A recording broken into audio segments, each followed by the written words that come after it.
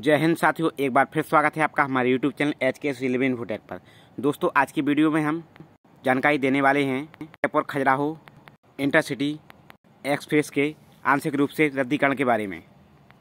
साथियों, आपको जानकारी के लिए बता दें कि Udaipur Khajuraho Udaipur express Agra cantt railway station से खजुराहो रेलवे स्टेशन के बीच रद्द रहेगी। साथियों, आपको बता दें कि उत्तर पश्चिम रेलवे में झांसी मंडल पर बनमौर स्टेशन पर नॉन इंटरलॉकिंग कार के कारण ब्लॉक लिया जा रहा है, जिसके चलते रेल यातायात प्रभावित रहेगा। इसके लिए उत्तर पश्चिम रेलवे जनसंपर्क कार्यालय जयपुर द्वारा प्रेस विज्ञप्ति जारी की गई है।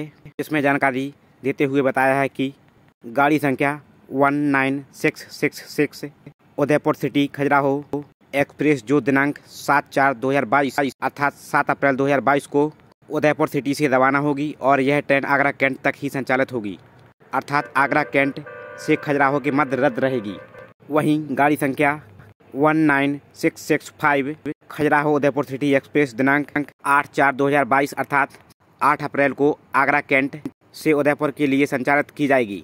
अर्थात खजुराहो आगरा कैंट के मध्य रद्द रहेगी। इसलिए उन यात्रियों से आग्रह है कि जो यात्री इस ट्रेन के माध्यम से खजुराहो से आगरा कैंट और आगरा कैंट से खजुराहो तक सफ़र करना चाह रहे हैं या फिर वह लोग जिन्होंने इसकी टिकट बुक कर रखी है, कृपया एक बार इसकी जानकारी को जाँच लें, इसके बाद ही अपने घर से निकलें। धन्यवाद दोस्तों, आज की जानकारी आपको कैसी लगी? हमें कमेंट के माध्यम से बस बताइए। और यदि यह वीडियो आपको पसंद आई हो तो कृपया इस वीडियो को लाइक करें।